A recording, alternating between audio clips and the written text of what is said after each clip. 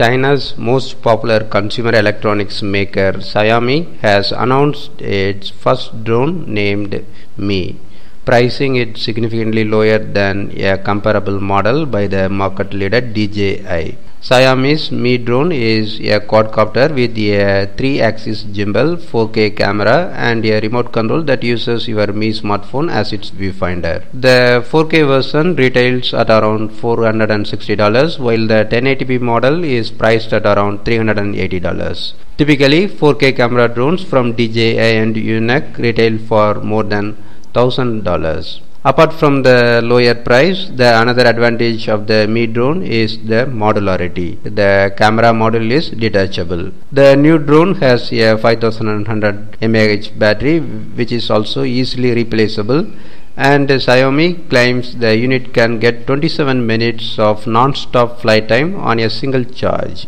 which is at the high end of what most consumer quadcopters offer.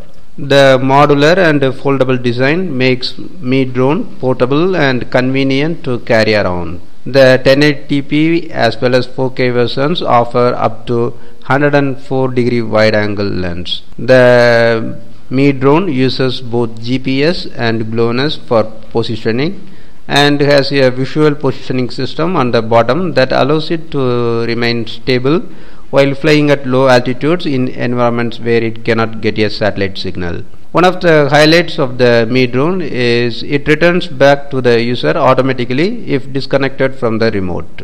Users can trace and monitor the battery of Mi drone from the attached phone screen of the remote. In case of low battery in Mi drone, there is warning alarm on the phone screen. The Mi drone can hover automatically at the edge of no-fly zones. The remote control comes with built-in PCB antenna array for maximum reach. The PCB antenna amplifies the signal of the Mi drone and it can be controlled up to 2 kilometers. The Mi drone also comes with autopilot option that allows it for automatic takeoff and landing, waypoint flight path planning, tap to fly on map, circle on object on the ground.